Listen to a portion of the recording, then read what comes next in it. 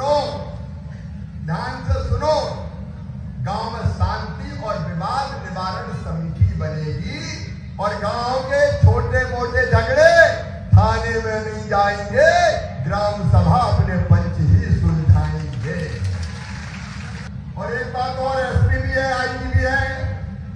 अब मैं उनको भी बता रहा हूँ, अगर गाँव के किसी आदमी की एफआईआर थाने में होगी तो पहले आपको ग्राम सभा में बताना पड़ेगा इसकी एफआईआर थाने में आप कार्रवाई करें कोई हत्या करता है भगवान न करे हो कोई लूट करता है कोई गड़बड़ करता है लेकिन ग्राम सभा को करना पड़ेगा मेरे बहनों भाइयों इसके अलावा स्कूल ठीक चले माँ साहब आए अब मामा देखें कि स्कूल ठीक चल रहा है कि आंगनबाड़ी ठीक चल रहा है ये देखना आपका काम है कि नहीं अरे है कि नहीं आपका काम तो पैसा आपको अधिकार दे रहा है।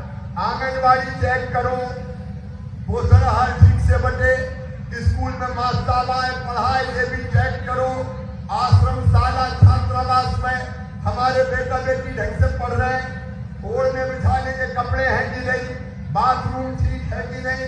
रहने का इंतज़ाम ठीक है कि नहीं?